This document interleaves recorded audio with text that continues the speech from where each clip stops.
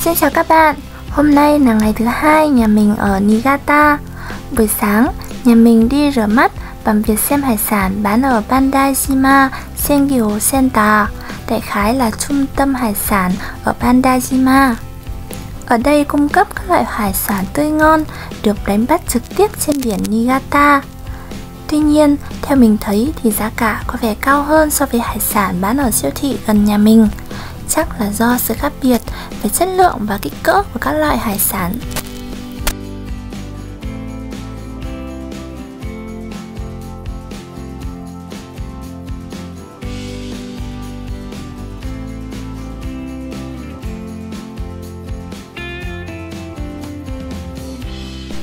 Xem xong rồi thì đi ăn trưa thôi nào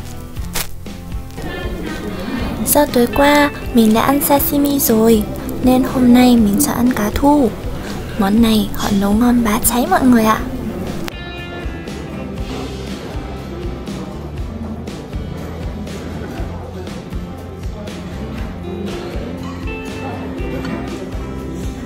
Còn ông chồng mình thì chọn xét được ưa thích nhất của quán là cơm sashimi. Đồ ăn ở đây theo mình thấy thì ngon hơn quán tối qua. Mọi người có để ý cái món rau xanh xanh kia không? Vị ý như cải muối của Việt Nam mình ý. Mình thèm quá, nên lấy nốt của chồng mình ăn. He he à.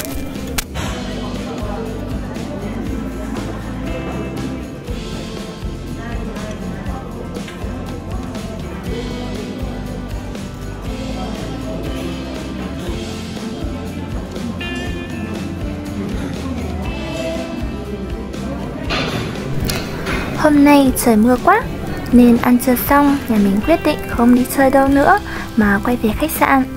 Một phần vì mưa, Còn phần nữa là do giao thông ở Niigata không có nhiều tàu điện.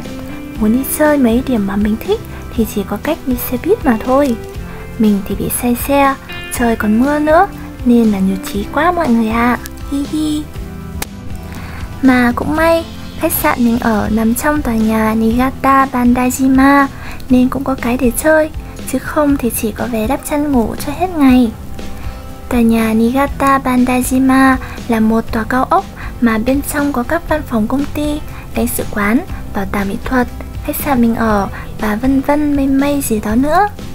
Đây cũng là tòa nhà cao nhất trong khu vực của Shinetsu với 31 tầng, cao 140,5 mét. Tầng 1 của Trung tâm Hội nghị Quốc tế Tokimese đang trưng bày loài cá Nishikigoi, được ví như viên ngọc bơi bởi cơ thể đầy màu sắc của chúng.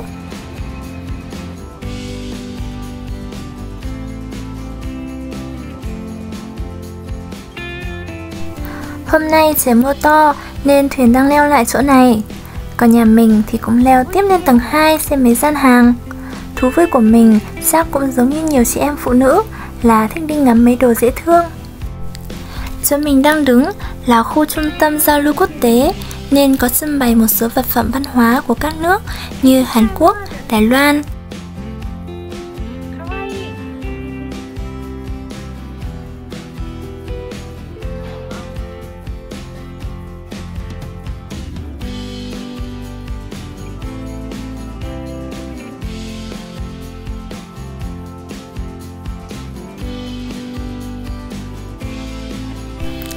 Còn đây là cửa hàng bán các đồ lưu niệm từ giấy.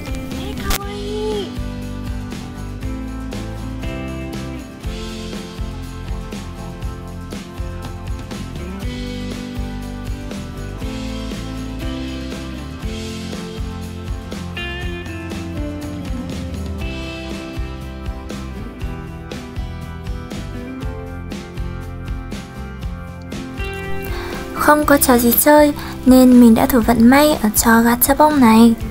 Và thật may mắn, mình đã bắt trúng được bé xin nha các bạn. Với niềm đam mê dành cho xin chẳng Mình lại chơi tiếp xem số có hên nữa không?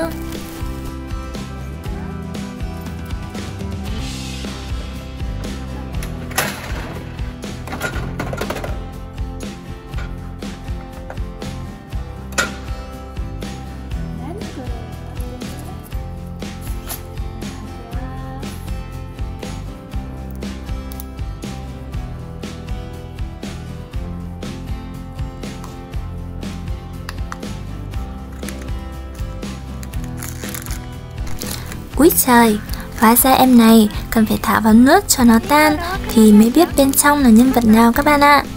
Các bạn thử đoán xem lần này mình có bắt chúng được bé Xin nữa không nha. Đáp án sẽ được mình bật mí trong video khác. Các bạn nhớ đón xem nhé. Eo, hình gì mà nhìn sợ như các bạn? Vâng, đây là buổi triển lãm lớn nhất từ trước đến nay nhằm giới thiệu toàn diện các hoạt động của nhà thiết kế thời trang Junko Koshino, người luôn đi đầu trong lĩnh vực thời trang với các sáng tạo mới độc đáo. Thực ra mình chả biết cô này là cô nào đâu, nhưng do hiện giờ ở bảo tàng mỹ thuật đang có triển lãm này thì phải xem thôi chứ biết sao. Hiu hiu. Do không được quay video nên các bạn tạm xem qua một vài hình ảnh nha.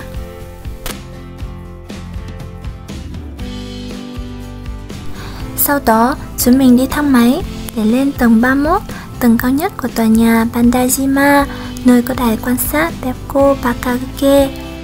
Đài quan sát này thuộc sở hữu của tỉnh Niigata, nhưng Tokimese chịu trách nhiệm vận hành và quản lý. Đài quan sát có độ cao 125 m so với mặt đất và có tầm nhìn ra trung tâm thành phố Niigata, sông Shinano, cầu Ryutohashi, cầu Bandai và cảng Tây Niigata, cũng như đảo Sado, đảo Awashima và núi Yahiko ở phía xa.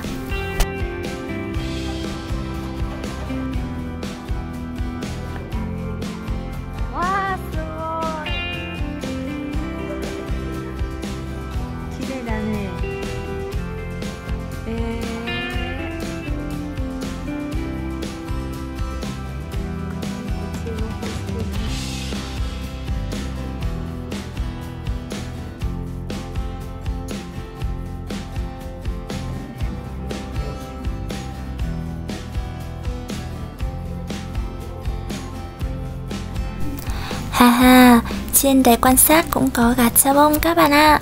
Thế là mình lại phải tiêu tiền vì bé xin tiếp thôi, hi hi.